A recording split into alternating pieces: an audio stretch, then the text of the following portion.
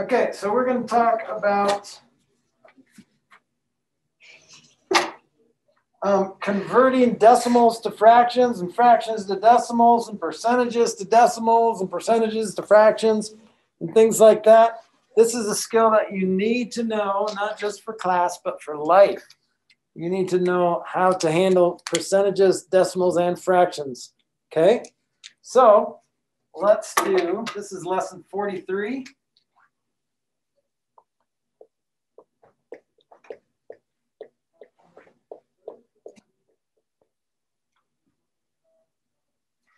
Okay, we're going to convert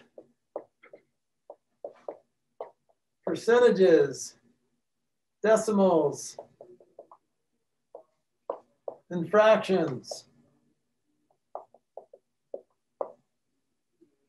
Okay, so first of all, I think the easiest one is writing, uh, is converting a decimal to a fraction.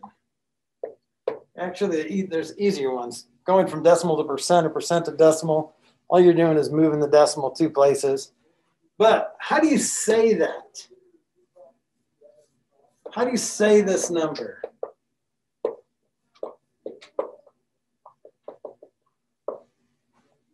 Grady? As a fraction? How do you say that number? As a decimal? Yeah, just just say that. Say that number. Um, 125,000. One hundred twenty-five thousandths. Did you say a hundred and?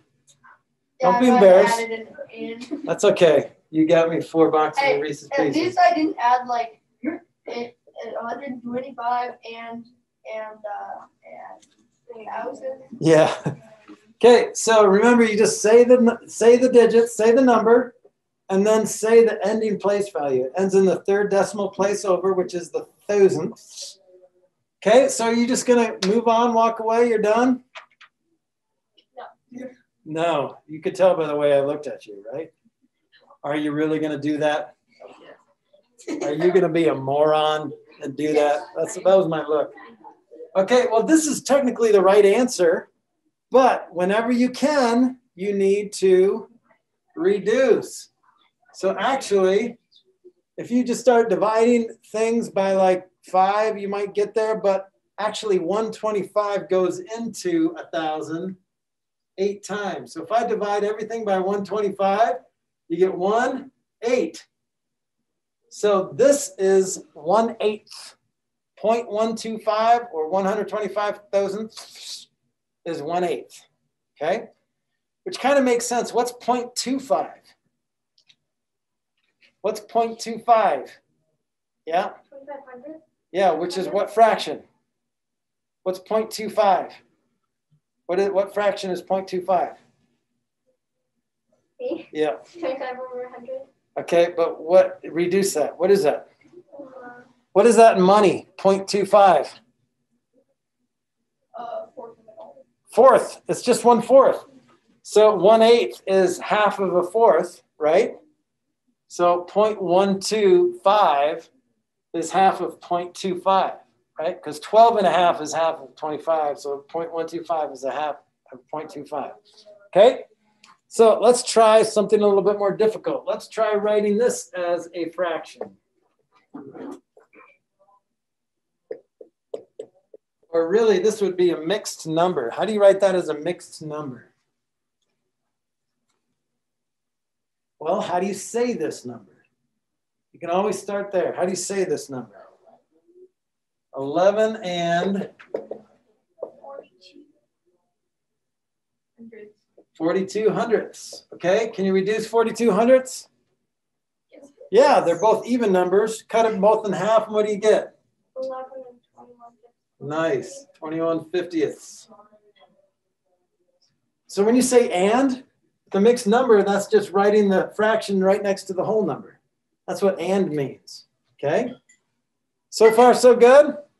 So this number doesn't change at all. The number to the left of the decimal, that's nice. You just rewrite that, and you just have to write that over the ending place value and reduce it if you have to, okay? All right, next. Let's write this as a decimal, write a fraction as a decimal. You probably already know this, because we just talked about it. But how do you write one fourth as a decimal? You guys know without even doing the math what it is? Avery? Um, point 0.25, that's right. Okay, but how do you do it if you don't have it memorized? What do you do? How do you figure out what a fraction is as a decimal? You guys know? You remember? We talked about it briefly. What does this symbol mean? What does that line mean? Divide. So that just means division. Okay? So 1 divided by 4. Does 4 go into 1? Nope. So what do you do? Add a decimal and a 0 or 2. How many times does 4 go into 10? 2 times. 2 times 4 is 8. Subtract. There's no more numbers to bring down, but since it's a decimal, you can add as many zeros as you want, right? Bring down another zero. How many times does 4 go into 20? Five times. Look what we got 0.25. Okay. But you already knew that one fourth, one quarter, right? One fourth is the same thing as one quarter. Quarter is 25 cents. Okay. All right, try this. Let's write, um, let's see here. One third. You guys know what one third is as a, as a decimal? Hunter? Zero point and then infinite threes. All right, so do you remember we talked about that last week? How do you write infinite threes? Just put a line over three. Right, so point three, you can put a zero there if you want. Uh, you don't need the zero there, but it looks, it's easier to read if there's a zero there. Sometimes that dot is a little too small, but if there's a zero there, then you would know there's a dot there. Okay, well, let's do that the same way. Does three go into one? No, but goes in three times. Bring down another zero. See what's happening? Point three repeating, okay? Does this feel okay so far? All right. Um, so your homework is going to be something that looks kind of like, uh, well, we'll do that in a second. The last conversion we're going to do is writing percentages as a decimal.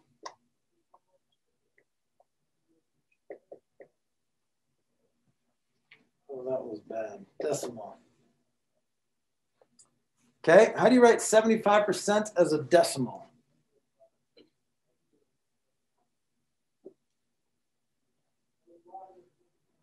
Anyone know? Hunter? Seventy-five over one hundred. Okay, you just wrote it as a fraction. Awesome. Fraction. 75 hundredths, because that's what a, per, a percentage is, is out of 100, right? Do you know, Grady? uh, point seven five. 0.75. All you're doing is moving the decimal over, okay? But if you think about it, this is 75 hundredths. What do you do to a number when you divide by 100? You just move the decimal over two places. So this becomes 0.75. This is the easiest thing in the world. With all three of these conversions, converting a percentage to a decimal, or really a decimal back to a percent, is just moving the dot two places. It's always two, no more, no less. So this would be 0.75. So let's go the other way. So let's write um, 0.37 as a percent. How do you write 0.37 as a percent? Kiara? Thirty-seven percent? 37%. You're just moving the decimal over two places. Boom. So 37%. Okay. If you're going to be tricked by these, it's going to be like here. How do you say 5% as a decimal? Marin? It's um fifty. Oh wait, sorry, zero point zero five. Right. So you need another zero there because look, you can only, you have to go two places. But I ran out of places, so you need to add another zero. So 0.05. Good. So single digit percents have a zero in front of it. So 9% is 0.09. Okay, elephant percent is 0.0 elephant. I don't think that works. But I don't think of elephants as single digits. They're a little double wide, I guess. Okay? It depends on how many pounds they weigh. If Yeah. they weigh too many, you can do it in tons. What did I hear? Like, like baby elephants are like already like even baby elephants are like way heavy, like a ton or something crazy. Like a ton, like a lot, or like low literal ton. Like maybe two thousand pounds. I don't know. Maybe I'm wrong, but baby elephants are are really heavy too, even though they're cute little babies. I heard that, I heard that like large elephants are scared of small animals like mice. Yeah, yeah. That's the rumor. Okay, what about this? One more tricky one. Let's see if you guys can figure this out. What's 150% as a decimal? Avery?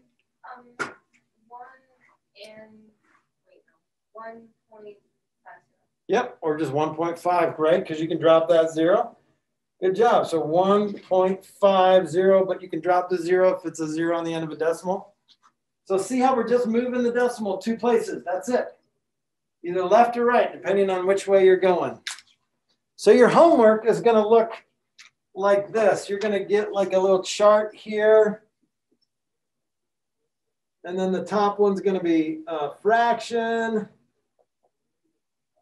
decimal, percent, and then you're going to have like convert that to a decimal and a percent, and then you're going to have something like this. And so you have to fill in the blanks. Should we do that real quick? We can do this quickly, right?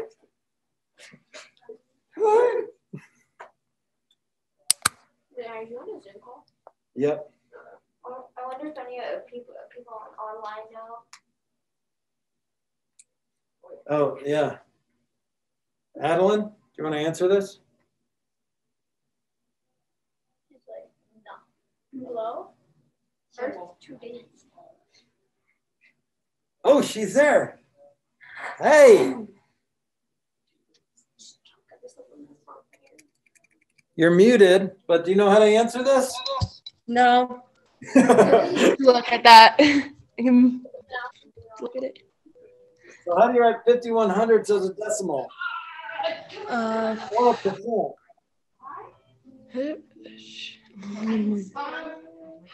Or you can do one of these too. oh, I can.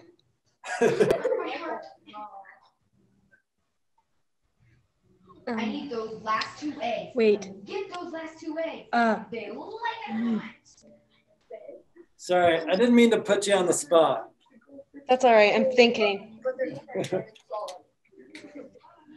Yeah, remember converting a decimal to a percent? What do you do? Mhm. Decimal to a percent. So it would would it be thirty percent? Yes, it is. So you have to move it two places to the right. So we run out of digits there, so we add another zero, so 30%. So 30% is like 30 per hundredth. So how do you reduce 30 over 100? Mm, thinking. Just 3 over 10, right? Yeah, you guys. For the top one, Top one. That's right. This is already in percent form, isn't it? 51 per hundredth. So 51%. And how do you change 51% to a decimal? Move the decimal over two places, so 0.51. Boom. That makes sense, you guys? All right, your homework will look kind of like that. Uh, don't forget, do your practice test by tonight before midnight, and you get 10 points extra credit. 10 points. Uh, we're just going to divide and we're going to write remainders after in our division problem. We're going to re- write remainders as fractions and as decimals. So when you say remainder three or something like that, that's not really useful in life. Um, sometimes it is. like, um, but most of the time when you want to give somebody an exact answer, you would say, um, you would write your remainder as a fraction or a decimal. Yes. Uh huh. Okay, so for example, does four go into 27? Yes. Well, technically it goes in, it just doesn't go in evenly, right? So four goes into 28. you look like a little elf. I wasn't gonna say anything though. Okay, so how many times does four go into 27 without going over? Hunter? Wouldn't it be? A little more than five, so six times four is 24. Subtract, you get three. So now you could say remainder three, but again, like you don't really want to, depends on what you're dividing by, right?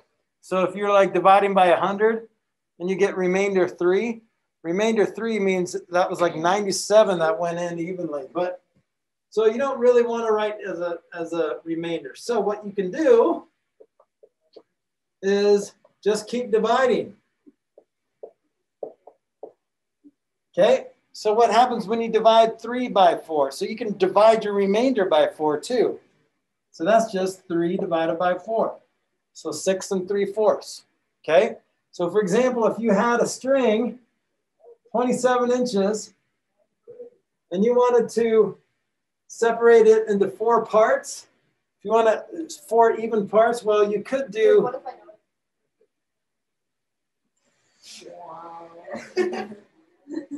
So here you're dividing it by four parts and you get six, six, six, six. And then you have that three. Well, what you want to do here is you want these three remainder to each. So all of those sixes would get a little bit more too. Okay. So three divided by four as well. It's kind of a weird way to explain it, but basically the steps are divide normally. Wait, can I correct you? That's not supposed to be. That's supposed to be four. No, because it's six plus six plus six plus six is 24. And then And then that, you have three left, right? Because this all equals 27. And then what I'm doing is I'm getting giving everyone a fourth of this three. So three fourths. So each one gets three fourths as well. Oh, and my brain actually a mistake. I thought six times four was point six. That's all right. It's because you're in elf mode right now. No offense. Okay, so basically the steps are whatever you get for a remainder, throw it over your divisor and you're done. Okay? Did you get that, Dylan? All right. So what the other way to write your remainder is just keep going with the decimal and see what happens. Well, do you guys know what three fourths is as a decimal? Point, point seven five, three quarters, three fourths is 0.75. Well, let's do that this way. So 20, you can also say 27 divided by six is four, blah, blah. And then add a decimal and a zero. Oh, not a zero there. Bring down that zero. How many times does six go into 30? Five times. Seven. Wait, what? I thought he Wait, what's happening here? I'm stealing Hunter's math brain. I thought he said I'm smarter than Hunter. 27 divided by 4, 24, 3.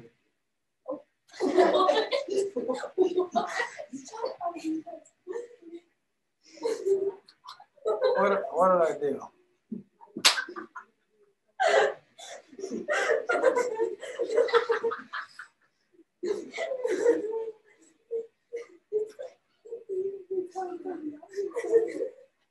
Oh, I'm dividing by the wrong thing here. Sorry. That's why I said the correct number. Oh. So six, yeah, 21, blah, blah. How many times is four going to 30? It goes in seven times with two left over. Bring down another zero. Keep bringing down zeros until you're done. Okay? Four goes into 20 five times. Unless it keeps repeating the same pattern. If it does repeat, what do you do with the answer? Put a line over. Put a line over the repeating part, right? Good.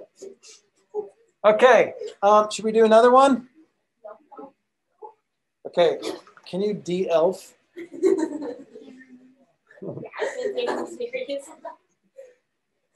Okay, I want you to write, uh, I want you to write the answer in three different ways. You ready? Okay, 54 divided by 4, go.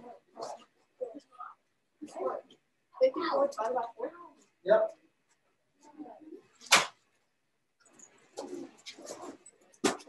Write your answer in three different ways.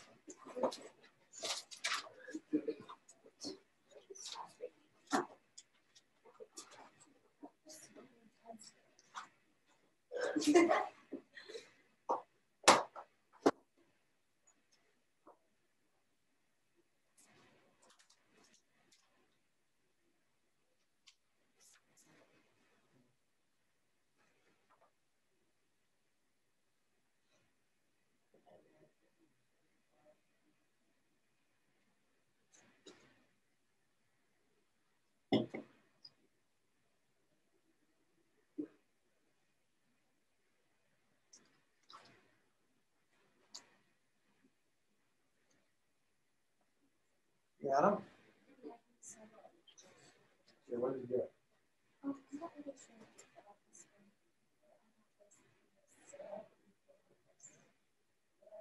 You got Two different decimal ones? So this is right. This is not quite right. Does it have to be a decimal? Uh, I want a decimal answer, I want a fractional answer, and I want just a remainder. I think I'm fine. All right, what'd you get?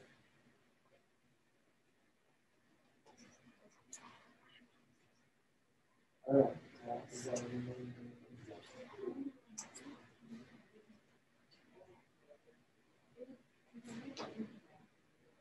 Well, the remainder would be two. Oh wait, I, I, I run know out of digits.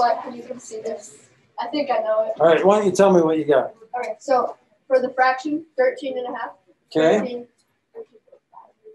And then for the remainder, just 13 with the remainder of two. uh-huh, And then for the decimal, 13.5. okay. What am I I doing? want the exact same stuff without paper. All right, good job. Yeah. All right, so everyone should get to this point where you have a remainder. Now, at this point, you have three different directions you can go. You can just give me the remainder. You can say remainder two, or you can say 13 and 2 fourths, but that reduces to what? One half. One half. Or you can keep going. So 4 into 54. I'm going to add a decimal and a zero. So that goes in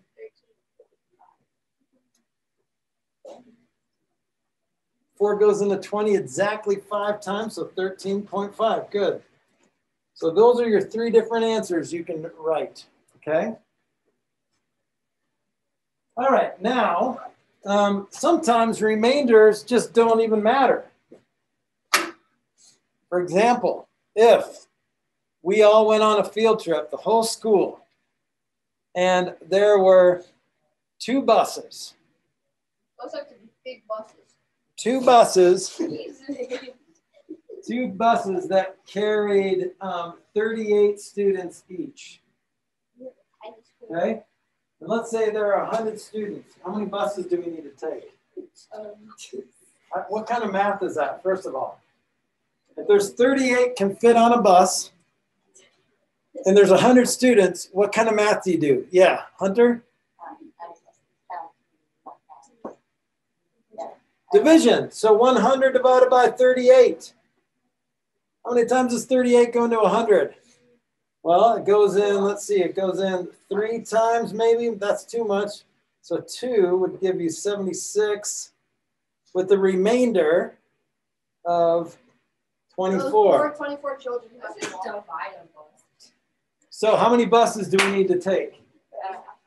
We need to take three. It doesn't matter if you have a remainder of one, which would be so sad, wouldn't it? Then you have to rent a whole bus for that one person. I Yes. better hope that there's someone who's. Shh. If there aren't extra buses, you can just tie them all to the top. Yeah, you could squeeze in, but that we'd be You can arrested. just make the block. That's the easiest solution. Okay, so does that make sense? With now, to, now the remainder, the exact remainder, I don't, you don't have to write it as a fraction or as a decimal. If you have any kind of remainder, you need another bus, right? So this time the remainder is important to know that there is a remainder, but it's not important to know what the remainder is. It's just the fact that there is a remainder means I have to take another bus. Okay? Um, so what if I did this? What if I said, okay, divide and round to the nearest hundredth?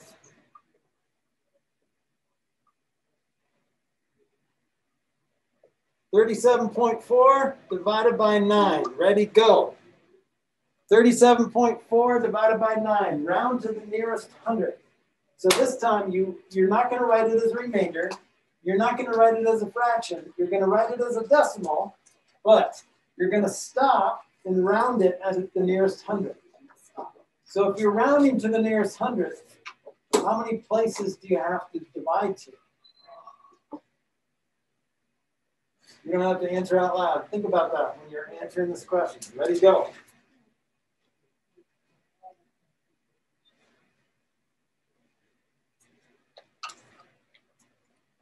You're kind of blocking. You're blocking it.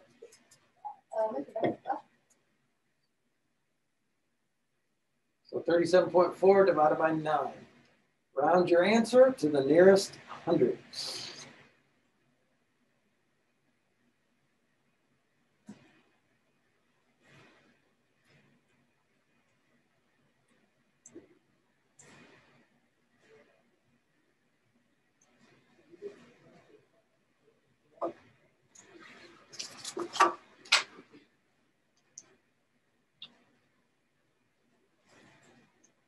Yeah. Okay.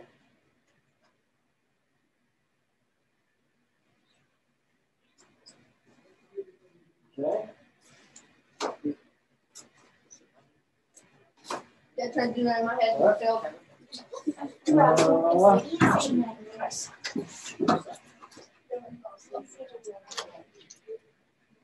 this should work. Nice. Let's. What do you get? Um, we'll see. Is that me?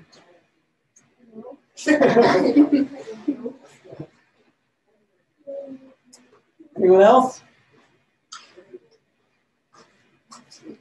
Okay, who wants to walk me through this? What do you do first? Divide it. So nine doesn't go into three. How many times does it go into 37? Four times with one left over, right? Bring down the four. How many times does nine go into? Yep. So remember, you can just bring the decimal up because you're not dividing by decimal. So you just bring the decimal up. Goes in one time with five left over. What do I do with that? Yeah, you can add as many zeros as you want, right? And you need to because you have to round to the nearest hundredth. Okay, how many times does nine go into 50? Five times, multiply, hmm, hmm, hmm, and then you get another five. Okay, bring down a zero. So you have to go three places in order to round to two places. Remember, two places is the hundredth place, right? Two places after the decimal point is the hundredth places. So you have to go three places to be able to tell how to round to two places.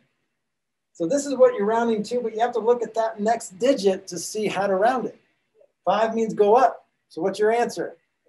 Four point one six. Nice. Good job. Does that make sense? Okay, um, the next, the last part of the test or the last part of the lesson is dividing. Um, we talked about vans transport 27 students. Van holds six students. So how many uh, vans do you need? Well, We You need four vans. And we had like thirty-eight students on. yeah, those are, this one, mine was more challenging. So So how many do you need? Well, if you have four and a remainder, then you need five vans, right? Okay. All right, so um, any questions with writing your answers in a division problem with the remainder as a decimal or as a fraction? Do you guys feel like you can do all three of those? Okay, yes. Um, so for the for the like rounding, you go if it's five or above, you give it a shove, and if it's four below. Yep, the number on the right of where you're asked to round to. So if that Oh. next number is five or above, then you then you go up with that one. So that's why it's 4.16 because it's five or above. Give it a shove up. Okay? Shove up. You shove up. Sorry, I didn't mean to say that. Okay, you guys good? Black some flack Black man.